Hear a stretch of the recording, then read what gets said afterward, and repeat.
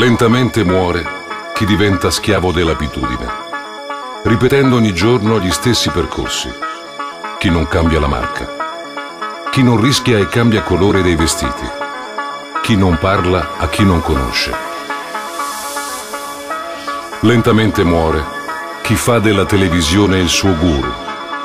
Muore lentamente chi evita una passione, chi preferisce il nero su bianco e i puntini sulle i piuttosto che un insieme di emozioni, proprio quelle che fanno brillare gli occhi, quelle che fanno di uno sbadiglio un sorriso, quelle che fanno battere il cuore davanti all'errore e ai sentimenti.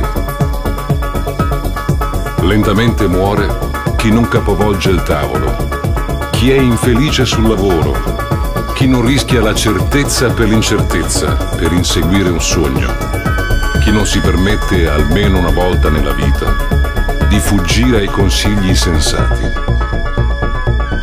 Lentamente muore chi non viaggia, chi non legge, chi non ascolta musica, chi non trova grazia in se stesso.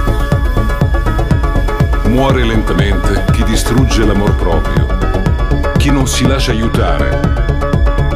Muore lentamente chi passa i giorni a lamentarsi della propria sfortuna o della pioggia incessante lentamente muore. Chi abbandona un progetto prima di iniziarlo. Chi non fa domande sugli argomenti che non conosce. Chi non risponde quando gli chiedono qualcosa che conosce. Evitiamo la morte a piccole dosi, ricordando sempre che essere vivo richiede uno sforzo di gran lunga maggiore del semplice fatto di respirare.